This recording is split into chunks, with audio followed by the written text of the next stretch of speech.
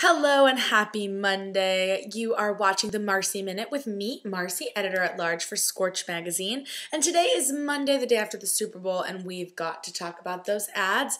We've got a lot of exciting things coming up this week, so I want to make sure to tell you about them as well. What was my favorite ad? Definitely have to say I love the Google ad. And for those of you that don't know, that was the first time that Google ever advertised on TV. I loved it going from like study abroad in Paris to baby crib. It was so sweet, so cute. I loved it. Also, of course, I loved my Oprah and Letterman and Leno. That was hilarious.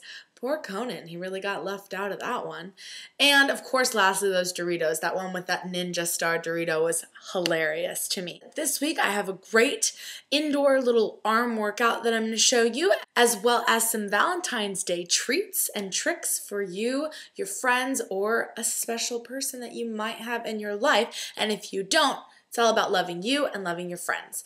But lastly, I want to tell you guys that tonight and tomorrow on the Home Shopping Network, one of Skorch's favorite plus size designers, Abby Z, is doing her love for sexy at every size, sizes 2 through 24. So tonight, tune in at 1 a.m. and then tomorrow 9 a.m. and 6 p.m.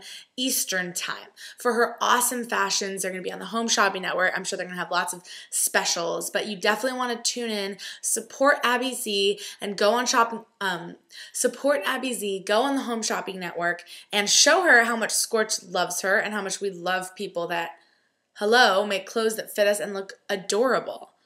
Uh, so, anyways, tune in this week for more Marcy Minutes. Go shop for Abby Z. Google the Google commercial because it's hilarious. And tune in for the workout tips and Valentine's Day treats later this week. For the Marcy Minute, I'm Marcy. I will talk to you guys next time.